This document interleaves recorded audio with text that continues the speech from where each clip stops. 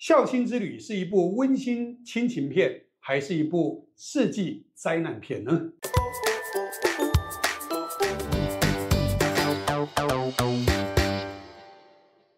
前一阵子呢，我又跟儿子呢到台南去玩了两天一夜。之前也不是有去过这个高雄嘛？确实啊，以前小时候都是我们带他出去玩。这样慢慢的，儿子也大概二三十岁了，也懂得说带着爸爸妈妈出去走。可是玩回来之后呢，所有的同事都在问我说：“哎，老师啊，你跟你儿子有没有吵架？有没有两个干起来？出去玩干嘛要干起来？”他说：“老师，你不知道吗？网络上都流传着带爸妈出游各种恐怖的故事，你听过吗？我真的没有听过呢。很多网友都说啊，带过爸妈出去玩之后啊，哦，每个几乎高喊着再也不敢试了。这其中到底有发生了什么问题？咱们今天来好好的聊一聊。在影片开始之前，请订阅、按赞、加分享，并且开启小铃铛，才能收到我们最新影片的通知哦。想当一个孝顺的孩子，带父母出去出游吗？我要告诉各位，如果要带爸妈出游，老师建议你，你必须首先要懂得调整心态，明白到底这一次旅游的主角是谁。没错，是你的爸爸妈妈。既然知道你的主角是爸爸妈妈，你就必须在这安排行程里面去思考，到底爸爸妈妈需要怎么样的旅行呢？以下老师提供五点，让你们做子女人来参考参考吧。首先，第一，决定目的地和旅游的方式。首先要先想想看，你是要自助旅游还是要跟团旅游？那很多人问我说，到底自助旅游好还是跟团好？我给各位这样的建议：有把握的可以自助旅游，但没有把握的建议就跟团吧。如果是自己规划行程，坦白说，如果规划的不好，当爸妈在怪下来的时候，你谁都闪不掉。但如果是跟团，你就赖给导游吧。了解意思吗？因为行程就是这样嘛。好，如果是自己去安排自由行，一定要记得，所有的长辈都非常喜欢比较，跟他哥哥、弟弟、姐姐、妹妹、同学、同事，所有的周边的邻居都在做比较。譬如说，去过一个国家，别人去过，他也去过，所以你一定要知道。只要是有长辈朋友去过的地方，你都不能安排的比人家更差，因为只要回来一旦炫耀的时候，那糟糕了。你住五星的，我住三星的，你看这回来心情就不好了，或者是听人家讲说多美好，然后去了之后状况不一样，是不是吵架就开始了？第二个，出门前的行程安排。行程安排，如果我们今天谈的是自由行来说了哈，有一些热门的景点跟冷门景点的选择，你必须要有一些考量。第一个，这样的一个旅游不是跟父母亲是重点吗？所以呢，你一定要考虑到爸爸妈妈的年纪，要考虑到他们的体力。如果爸爸妈妈都是已经六七十岁了，你就老是安排迪士尼，你说他好玩吗？那肯定不好玩的吗？跟你出去，他不是脸色都很臭吗？搞了半天都你在玩，都不是他在玩。既然主角是爸妈，我们尽量安排这些景点是父母亲体力能够考量的。那在安排的过程当中，也要记得两点：第一个不要太松，第二个不要太紧。譬如说，你给爸妈安排到一个饭店里面，就待一天。那我们年轻都可以去游游泳啊，享受一下附近的那些啊健身房啊怎么样的？你要知道，老人家可能六点就起床了，甚至五点半就起来了。吃完早餐之后就觉得，哎，怎么还不带我出去？那每天躲在房间里面，那有什么意思呢？可能就有很多抱怨哦，这就是吵架的开始喽。那另外也不能排太紧，哇塞，这个行程接下一个行，这个行程接下一个行程，这样的情况之下，可能父母亲的体力也没有办法负荷，也会有很多的一些抱怨。你一定要记得。有一些巴乐景点是一定要排的，为什么？因为这就是必去的地方嘛。比如说巴黎，你不用去铁塔，去那干嘛？你要去到北京，你就要去到万里长城嘛。所以这几个景点是一定去的，因为到时候你爸妈回来跟人家吹牛的时候，人家一听啊，你既然去北京没有去天安门，那不是被人家笑死了吗？就这个概念一定要记得。所以有一些拔辣的景点必须，但是如何能够选择同中求异？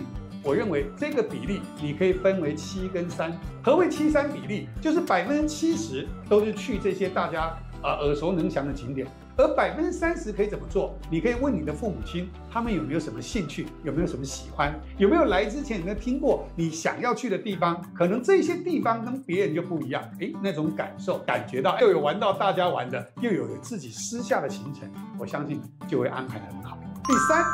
旅行中的注意事项，魔鬼都藏在细节里。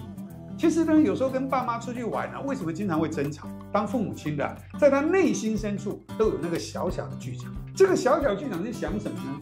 想你以前小时候我带你出去玩，你想怎么用都没关系，反正钱是我出的。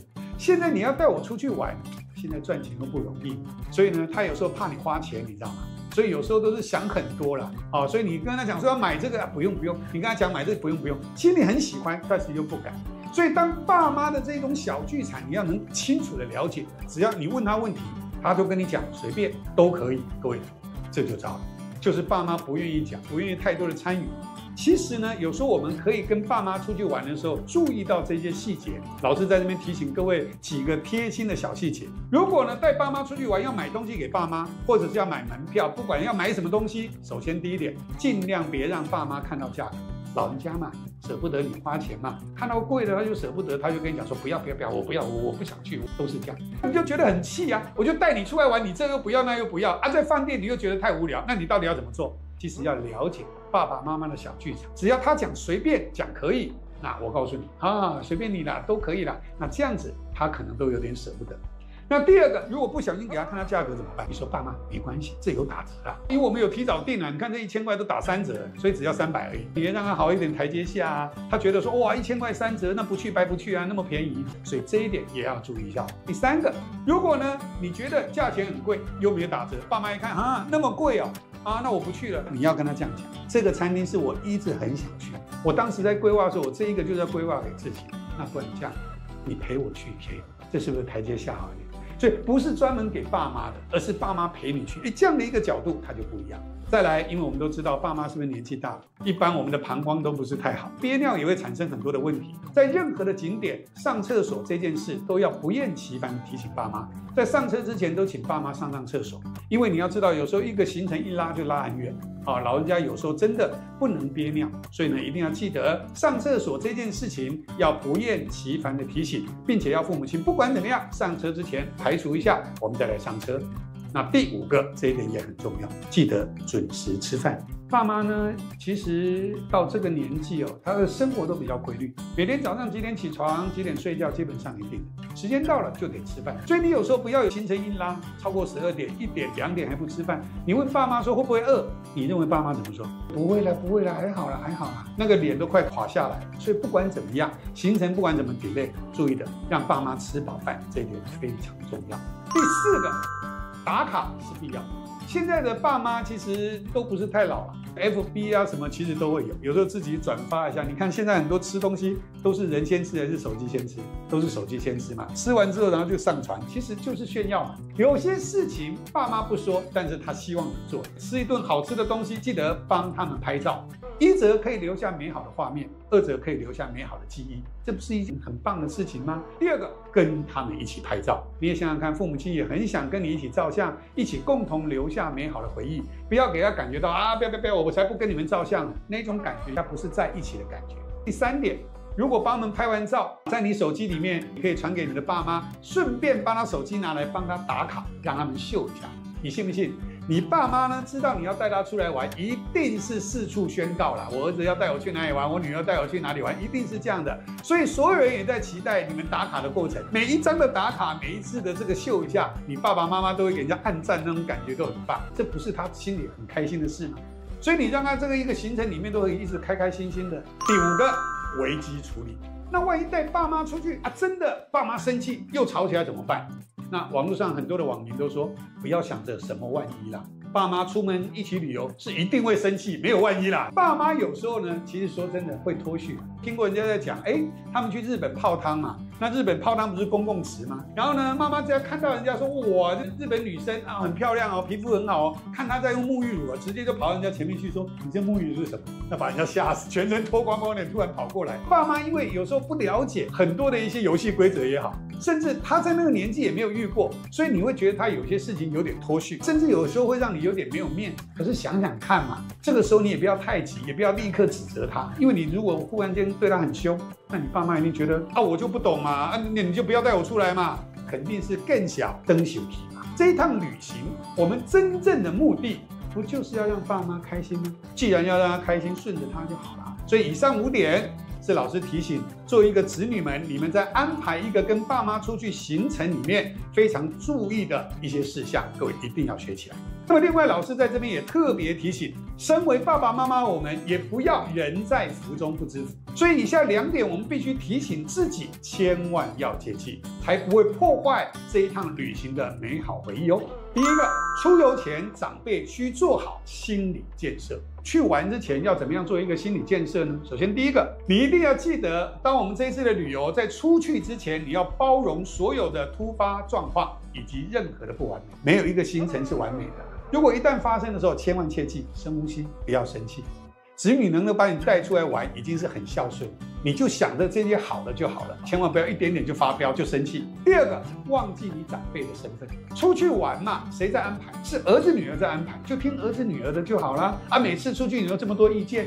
一来到这这以前来过的，一来到这以前就怎样那又怎样，你这么多的指导，人家听了也不是很开心。第三个，出来玩不要太在乎金钱，一出去玩这也不敢花，那也不敢花，就为了省钱，对门票也不买，咖啡厅也不愿意进去，下车尿尿，尿完之后就上车，那多无聊嘛。所以只要出去玩，坦白说不用太在乎金钱。那尤其是小朋友花了钱，只要不是我们跟他要，他愿意去帮我们花。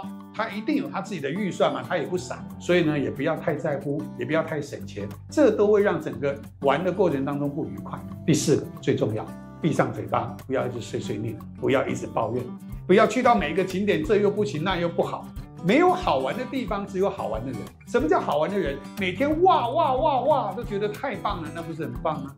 最后一个，要无时无刻的赞美。才是最好的解药。小朋友们带着我们出去玩，要变成一个很美好的回忆。各位一定要记得这一点，无时无刻的赞美都是最好的解药。就像我刚刚提的，都是哇。如果坐高铁哇，如果开车就哇，如果塞车太棒了，我们还可以在里面好好聊一聊。所有的东西你不要想坏的，都想好的，永远不断的赞美。哎呀，今天带我这个行程多棒哇！我昨天吃那东西多好吃，这不是很开心的事吗？对于子女们来讲，这也不是一个最棒的称赞吗？如果你。一直想要他不断的带你出去玩，我觉得这倒是一个很棒的方法。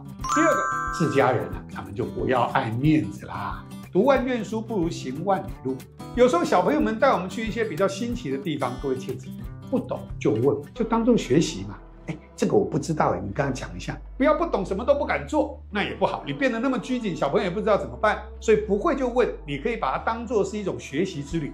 所以你每天就哇哇哇哇，好多东西我都没有尝试过，是不是很开心？所以你用学习的心态出去，这点很重要。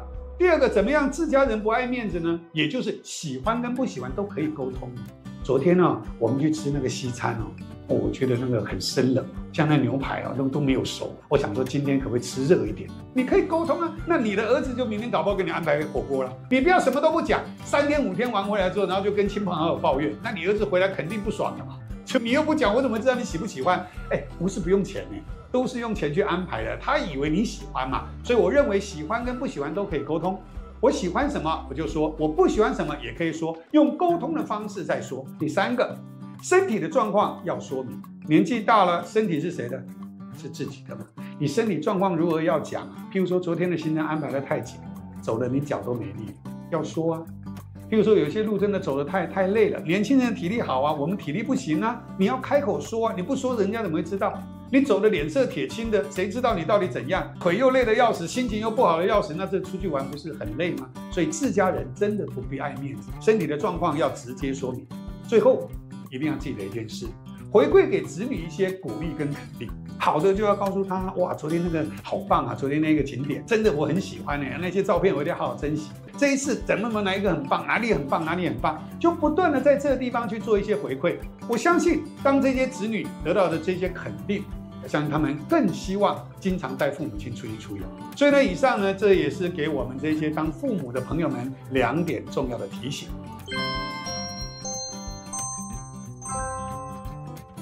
好了，那么今天呢，我们有五点提醒这些小朋友们，你们如何安排行程，注意细节；还有两点呢，也是告诉这些爸妈们，我们今天如何的自我做一些调试。相信按照这老师的这个总共七点去做的话，我相信一定会做得非常开心，珍惜一家人相处的美好时光，留下美好快乐出游的回忆，这才是真正我们今天这支影片要告诉大家的。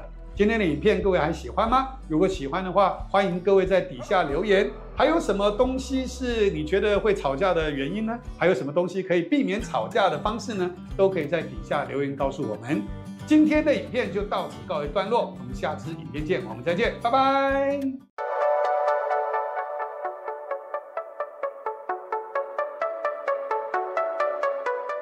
你有带你妈去玩过？